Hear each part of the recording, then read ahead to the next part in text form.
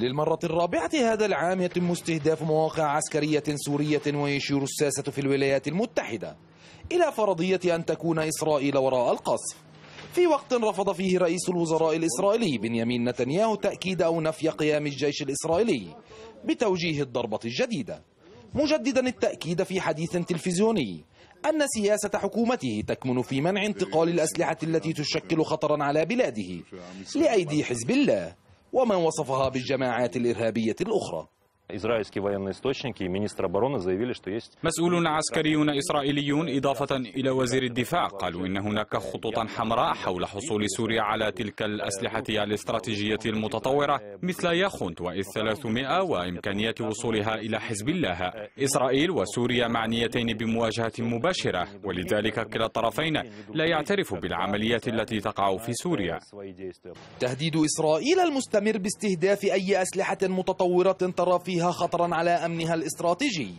لا يخلي مسؤوليتها عن القيام بالعملية الأخيرة. لكن نفي تلك العمليات يبعد الطرفين السوري والإسرائيلي عن المواجهة المباشرة.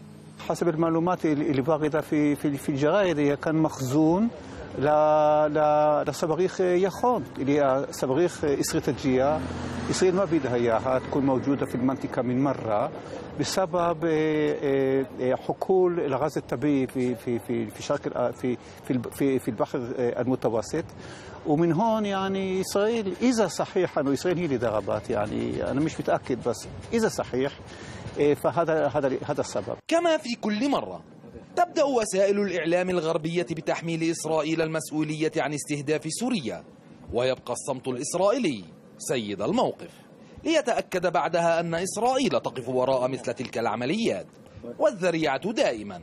حماية الأمن القومي الإسرائيلي. لا تزال إسرائيل الرسمية ممتنعة عن أي تصريحات بشأن قصف المواقع السورية. لكن أصابع الاتهام تشير إلى أن لإسرائيل مصلحة كبيرة. في استهداف مخازن الصواريخ المضادة للسفن. في اللاذقية سامي أبو دياب اليوم القدس.